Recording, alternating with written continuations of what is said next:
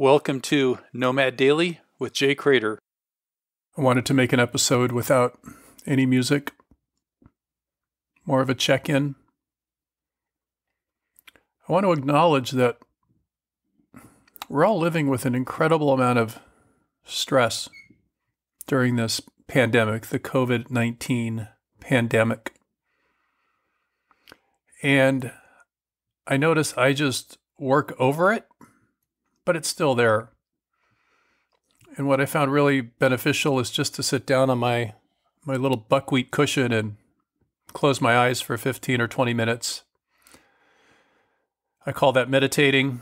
You could just call it sit and be quiet, but it allows me to get in touch with what's really going on in my body, which is uh, a bit of discomfort, dis-ease, stress.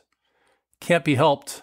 It's a difficult, weird, strange freaking time we're going through. And if you're not honest about it, if I'm not honest about it for myself, it can kind of take over. So I need to just kind of sit with it. That's what it is. It's I need to sit with it. So there you go. That's where I'm at. That's where I'm at today, right now, as I'm wrapping up this week's uh, episodes of the Nomad Daily podcast. You have a great day.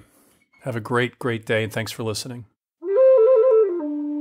For more information and bonus content, visit nomadjay.com.